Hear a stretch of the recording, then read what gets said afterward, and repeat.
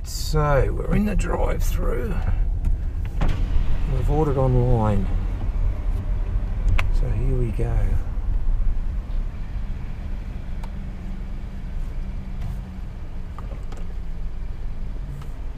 Welcome to KFC. What would you like? Can I pick up um, order number 5804, please? Not a problem. Seven two. Thanks.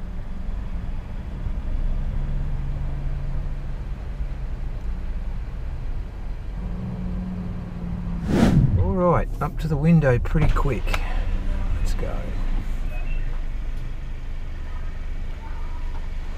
Thanks, mate.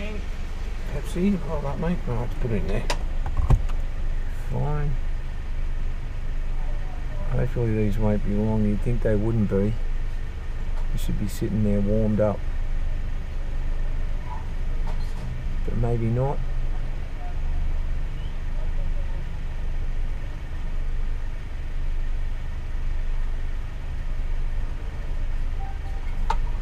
Great, mate. Thanks a lot. There you go, Charlie. And actually, and surprisingly, they feel a little weighty, don't they? Well, let's go and park and try our zinger pies. I should have brought me some tomato sauce. Oh well. All right, everyone. So we've done it. The zinger pie. I didn't really feel like doing it. Um, I've seen it before. It's not a new product. It's been around and comes and goes um, for a long time. And it's never really done anything for me. But I thought, hey, we're a food review channel, so we've got to uh, do the review on it. And a, a number of you subscribers, thank you out there, have asked for us to review it. So we're back at KFC again two weeks in a row, but never mind. We're going to try it and let you guys know what we think of it. A lot of you have probably already tried it, um, but here's to it. Here's nothing. Let's go and try, Charlie. Let's have a look. So five ninety five each, and I do know you can get the chips and the pie for five bucks before four four p.m. But guess what? It's after four p.m. So we couldn't do that, and it doesn't really worry me to spend that extra dollar on the one item and not get the chips um, because I really want to try it. So, for those of you who don't know as well, um, in Australia, pies are a big deal all year round, but particularly in winter. Uh, different types of meat pies, usually beef, uh, beef mince or ground beef, if you want to call it that, in a pie in a rich gravy. That's just the basic pie. Um, very popular. You have tomato sauce or ketchup, as you'd call it in America and uh, England, on the top of it, and away you go. And it's it's this looks no different. In fact, it looks very much like a traditional Aussie meat pie from the outside, doesn't it, Charlie? Mm-hmm. Wow, Wow. the zinger pie. There it is. And I'll tell you what, it's damn hot too. And one thing about pies, you need to be really, really careful because if you go and bite into these straight away, you will burn the hell out of the roof of your mouth. The absolute hell out of it. Damn you! I tell you. So that's it, and that's what it looks like outside of the foil tray that it's in. So the bottom here is is softer, and the top is like a puff pastry, like any pie, and it's got a crispy sort of texture about it. You can hear it there, and it's a little bit harder, and that's where obviously it's baked, but. It does seem like it's got a fair bit of weight in it um, for a pie, doesn't it, Charlie? But let's have a bite. Be careful, mate. Remember what I said about burning your mouth. So be careful. Let's have a try of it. Oh, yeah. So you can see some filling in there, and it's sort of separated. I'll just on the glass separated a bit from the actual crust. So I'll have another bite and see if we can get some of that filling. That's where it's going to be hot. I've already steamed the windscreen up with this pie. Mm, yep. That's a bit better. Oh, yeah. There it is there. So you got bits of zinger chicken, pieces of zinger chicken in a gravy inside. And what am I tasting at the moment? Well, nothing much other than it's salty and a bit spicy. A little bit spicy, which you'd expect from zinger chicken. So that's good.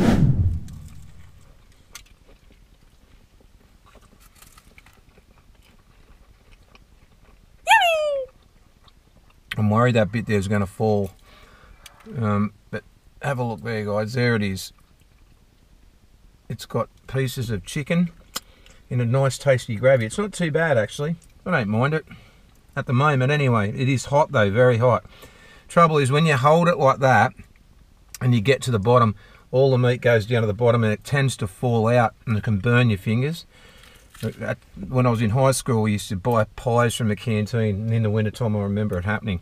Very similar. So the the outside pastry is exactly like the good old Aussie meat pie, um, but the inside's a little different. It's sort of like uh if you've had the four and twenty chicken pies, that's what I'd sort of liken it to. But obviously, there's no peas or vegetables in there as well, and sort of the gravy's not quite as white in colour. Um, but the chicken texture is very similar, and I like the um, the bit of spice that I'm getting, so that's good. Mmm. That was hot. That burnt my mouth. So, guys, just put a comment below if you've tried this. Put a comment below and let us know what you thought of it.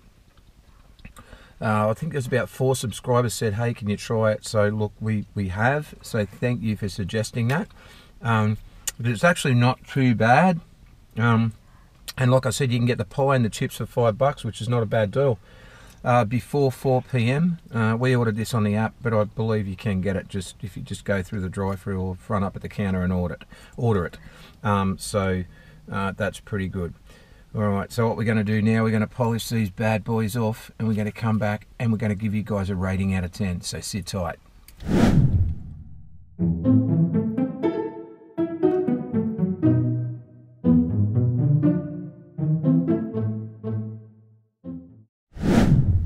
Right, we're back on deck, back in the car, and the zinger pies are gone.